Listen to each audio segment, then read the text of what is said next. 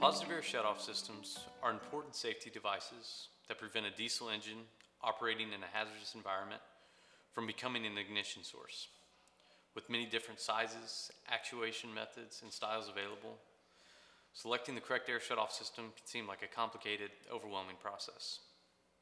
That's why today, we'll take a look at the three different diesel-powered equipment categories commonly used in drilling and refinery operations, and what systems we recommend for them.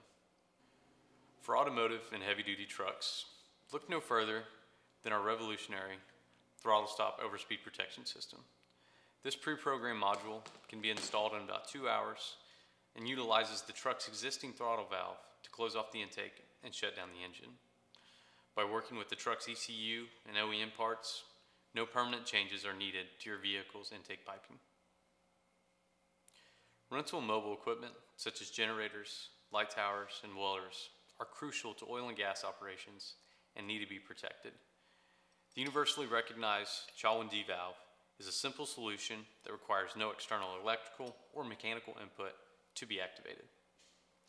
High horsepower equipment, such as hydraulic fracturing units, power generation units, and drilling rigs, can create a high vibration, high temperature environment that requires a high performance air shutoff system. For this line of equipment, we have an array of hard mounted custom solutions designed to fit all the major diesel engine makes found in the industry. If you need further assistance with selecting the correct positive air shutoff system, give us a call today or visit our website at amot.com and use our diesel engine safety product filter, which allows you to filter by application. Until next time, keep safe.